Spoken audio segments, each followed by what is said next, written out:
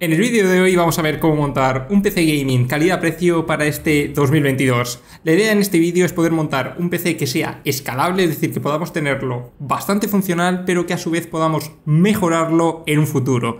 Hoy regresamos con uno de esos montajes de PC gaming calidad-precio que solemos traer en el canal. Para poder conseguir esto, nada mejor que el corazón de la build sea una APU de AMD, concretamente el Ryzen 5 5600G. Un procesador de 6 núcleos 12 hilos con bastante potencia y que además tiene un chip gráfico integrado que sobre el papel tiene un muy buen rendimiento. Además del 5600G tenemos una opción bastante interesante como es el 4650G, un procesador que no se habla demasiado de él, pero es realmente un 5600 solo que con menos caché y un poquito menos de frecuencia, pero que overclockeando el 4650 puede convertirse en un 5600 sin ningún problema. Yo al final elegí el 5600G porque lo puedo conseguir a un precio bastante interesante, pero tendremos link abajo en la descripción para todos los componentes que vamos a usar en esta build y las diferentes opciones para conseguir el mejor precio posible. Si repasamos el concepto de APU es unir la CPU con la tarjeta gráfica. Obviamente va a tener limitaciones y no va a ser una tarjeta gráfica dedicada, pero nos va a dar un rendimiento bastante interesante y que veremos más adelante en pruebas cómo rinde este 5600G y si realmente podemos considerar este procesador para un PC gaming. El siguiente componente es la médula espinal del equipo y es en nosotros que la placa base. Aquí tenemos que tener claro que el mejor chipset a día de hoy es la B450 para poder optar a esta plataforma AM4 y conseguir el mejor precio posible. La gran ventaja es que las placas base B450 son compatibles con los Ryzen 5000, así que no vamos a tener ningún problema para poder poner el Ryzen 5600G con una placa base B450 y poder conseguir un combo bastante económico calidad-precio. Este toque ya han salido las B550 hace ya unos cuantos meses, pero como son más caras, vamos a optar por la generación anterior, que para el uso que le vamos a dar no va a haber diferencia entre coger una B550 y una B450. Por eso vamos a optar a este tipo de placas para conseguir muy buen rendimiento y sobre todo calidad-precio. Para el siguiente componente no podemos escatimar en gastos si es que va a ser el cerebro del equipo donde vamos a poder usar la mayor capacidad de memoria y como su nombre indica va a ser la memoria RAM. Normalmente los PC usan bastante esta memoria ya que la RAM es un componente imprescindible pero es que en el caso de la SAPU cobra aún más importancia esta memoria RAM, ya que al estar unido el procesador y la gráfica en un mismo chip, va a hacer bastante uso de la memoria RAM y es por ello por lo que vamos a optar para la memoria RAM a una configuración dual channel de 8 más 8 para hacer un total de 16 GB de RAM y además que esa RAM pueda ser escalable hasta los 3200 MHz. Una velocidad bastante interesante ya que esos 3200 MHz nos van a poder permitir exprimir todo el potencial de nuestro Ryzen. Para poder colocar la memoria RAM en esta placa no tenemos ningún tipo de problema, ya que solamente tenemos dos slots, por lo tanto tenemos que colocar los dos módulos de RAM en los dos zócalos, pero si tuviésemos cuatro tenemos que colocarlo de manera impar. Eso quiere decir que tendríamos que usar el 1 y el 3 o bien el 2 y el 4 para poder conseguir una configuración dual channel. La build poco a poco va cogiendo forma, ya tenemos la placa base, el procesador, la memoria RAM y ahora ha llegado el turno al disco duro. Aquí tampoco hemos escatimado en gastos ya que están a un precio relativamente económico y son los SSD NVMe. Ya hemos revisado en varios vídeos en el canal que usar la tecnología NVMe como disco duro principal en el sistema es mucho mejor que usar los típicos discos duros SATA. Por eso vamos a elegir como memoria principal para esta build un SSD NVMe y de manera adicional hemos colocado un pequeño disipador para mejorar las temperaturas de este componente. Como hemos elegido el Ryzen 5600G para el montaje de esta build, ya os digo que si el 4650 estuviese más económico hubiese elegido ese procesador porque son prácticamente dos APUs muy similares, ya nos venía incluido el disipador stock para este procesador. A decir verdad, el disipador stock no es demasiado bueno, nos puede servir para sacarnos de un apuro y para empezar a funcionar, pues sí que es cierto que funcionar funciona, pero sí que es aconsejable rascarnos un poquito más el bolsillo y optar a una disipación aún mejor y para ello vamos a elegir este disipador de la marca Mars Gaming. Este disipador, en comparación con el de stock, no tiene nada que ver. Contamos con nada más y nada menos que 6 G-Pipe de cobre, un ventilador de 120, mucha más cantidad de aluminio para poder disipar mejor el calor de nuestra APU. Vamos, el Ryzen va a estar mucho más fresquito. Si nos vamos a la página web de la marca y buscamos en la sección de refrigeración los diferentes disipadores, podemos ver opciones bastante interesantes como este procesador de aquí por 17,90, el que hemos elegido para el vídeo que es el MCP UPRO a 26,90 y tenemos más disipadores, incluso refrigeraciones líquidas. ¿Por qué os enseño la página web de Mars Gaming? Muy fácil. Vamos a poder optar a un 10% de descuento en toda la página web con el código DUVE. Sí, sí, habéis oído bien. Los envíos son gratis a partir de 39,90, pero si es que, por ejemplo, compramos la fuente de alimentación, mesa, ratones, tiene un montón de productos más gaming, pero por ejemplo, elegimos esta silla gamer y vemos que si ponemos DUVE 10 y le damos a aplicar, tenemos un 10% de descuento. La verdad es que esto está bastante bien porque así vamos a poder abaratar aún más la build y ya os digo que esto funciona en todos los productos. Si ahora, por ejemplo, regresamos a la parte de refrigeración y elegimos un disipador, el que queramos, da exactamente igual y le damos a comprar, le damos a añadir al carrito y vemos que también se aplica el descuento. Funciona en toda la web y es muy interesante para poder ahorrarnos un dinerito en el montaje de nuestro equipo. Ahora tenemos que hacer el proceso de colocar el anclaje concreto para poder hacer que el disipador funcione en nuestra placa base. Obviamente en este caso tenemos que usar el anclaje de AMD, pero también podemos usar este disipador en placas base Intel. Solamente tendríamos que cambiar el anclaje y ya está. Y para colocarlo, como ya sabéis, es muy sencillo. Tenemos que limpiar bien la superficie del procesador, colocar pasta térmica, que encima ya nos viene con el disipador. Quitamos la película de plástico que protege la base del disipador y unimos tanto el procesador como el disipador para poder refrigerar correctamente nuestro Ryzen y conseguir las mejores temperaturas.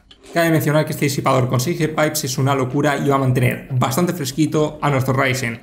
Puede ser que en un futuro le demos caña al overclock y conseguir aún más potencia, pero eso quedará para otro vídeo, así que si te está gustando, suscríbete al canal porque se vienen vídeos de optimización bastante potentes y esta build vamos a conseguir exprimirla y sacarle todo el rendimiento.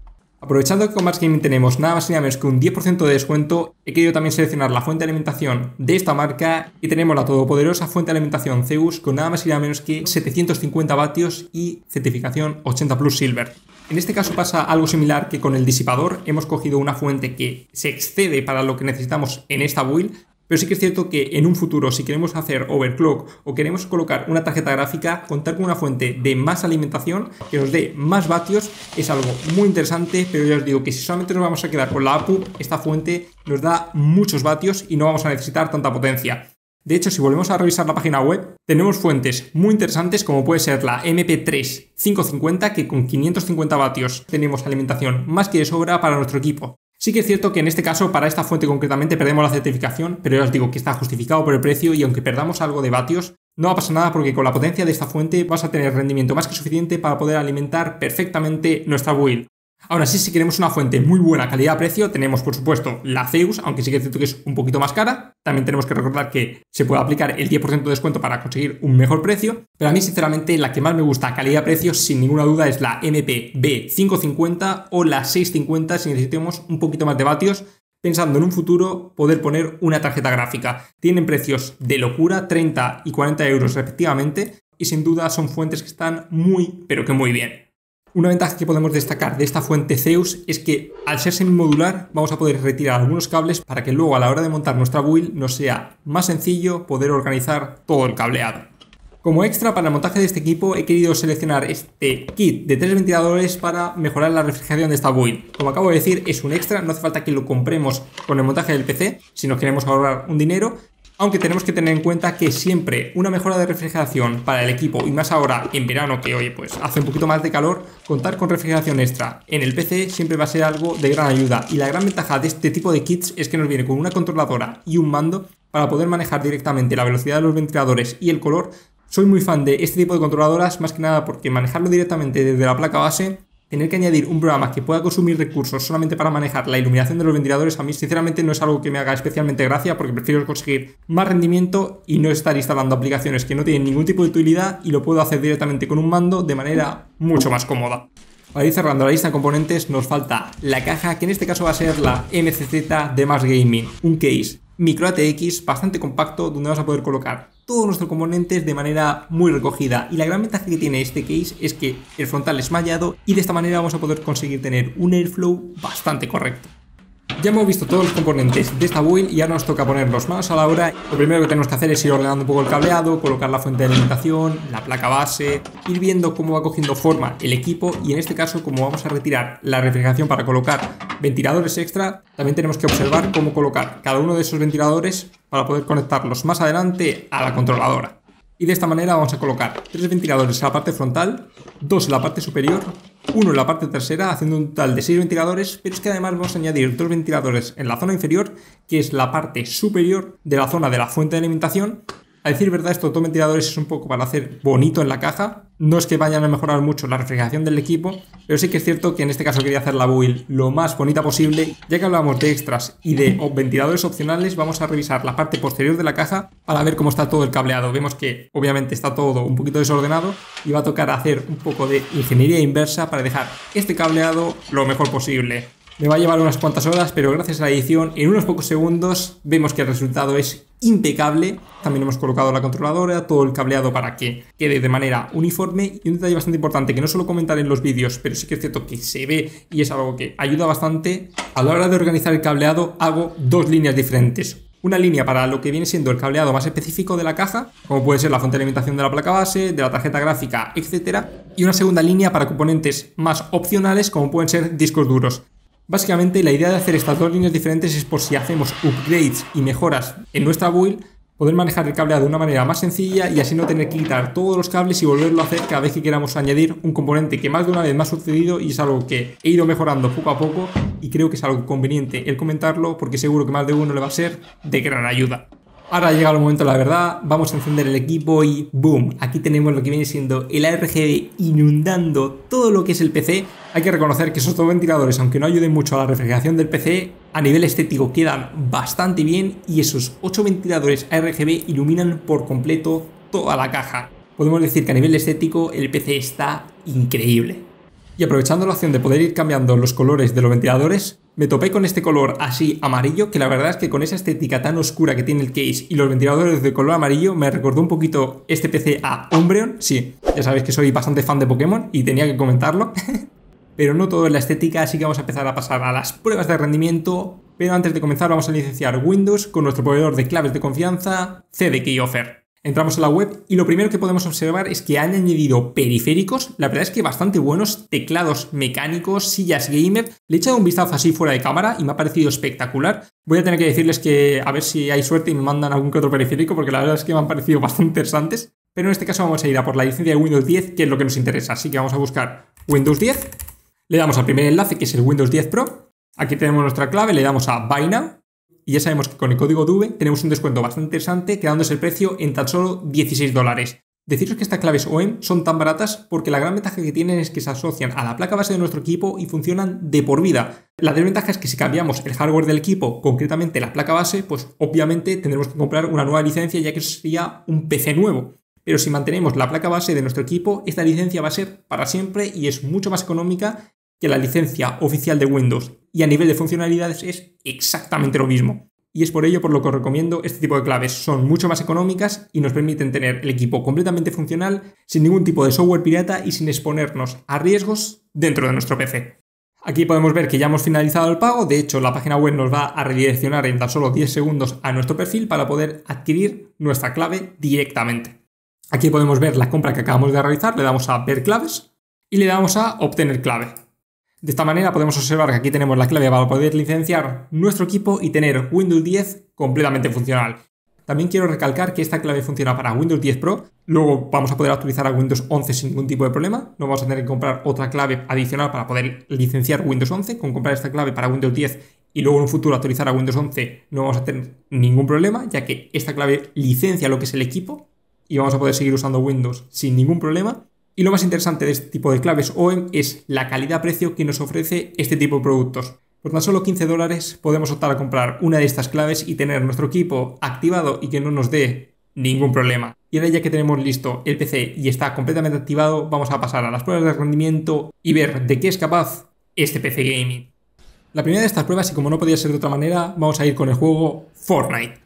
Vamos a ajustar la calidad gráfica en rango medio y resolución a 1080 para ver el rendimiento total de este equipo y podemos observar que la tasa de FPS no está nada mal, Fortnite se mueve bastante bien, tenemos un total de unos 60 fotogramas por segundo, incluso alcanzando picos de 70 fotogramas, así que esta primera prueba con Fortnite, el PC Gaming logra completarla bastante bien, consiguiendo resolución 1080 con gráficos en bajo y medio, ajustando un poquito, 60 fotogramas por segundo, bastante estables y haciendo que el juego sea muy, pero que muy disfrutable. El siguiente título también es de sobra conocido y se trata de nada más y nada menos que Grand Theft Auto 5.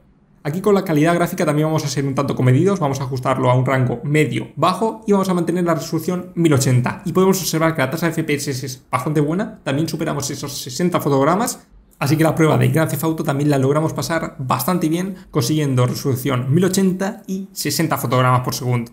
Con el siguiente juego tenemos un escenario completamente diferente. Vamos a empezar a probar Valorant y la verdad es que con este juego es una locura. Podemos alcanzar más de 144 fotogramas por segundo e incluso llegar a 300 fotogramas con una resolución de 1080 y con calidad baja. Así que es cierto que ponemos calidad bajo porque aquí lo que nos interesa es que haya bastante fluidez, ya que este tipo de títulos nos exige ser lo más competitivos posibles.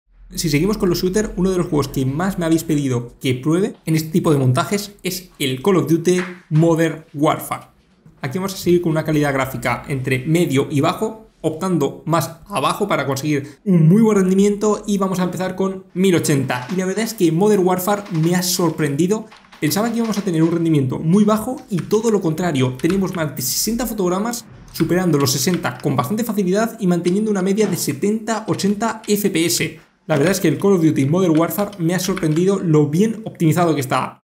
Y para ir cerrando este conjunto de pruebas gaming vamos a pasar a los juegos AAA, juegos mucho más demandantes con mayor carga gráfica para ver cómo se desenvuelve este Ryzen. Para esta primera prueba, como no podía ser de otra forma, tenemos el Shadow of the Tomb Raider. Y aquí podemos ver rápidamente que los FPS están por el suelo, tenemos unos 15 FPS en resolución 1080 y con calidad en bajo, Aquí la verdad es que para ser sincero he intentado optimizar lo máximo posible, pero es que a 1080 no podemos hacer absolutamente nada con los juegos AAA. Tenemos que bajar la resolución a 720p para que el juego sea disfrutable por encima de los 30 fotogramas por segundo.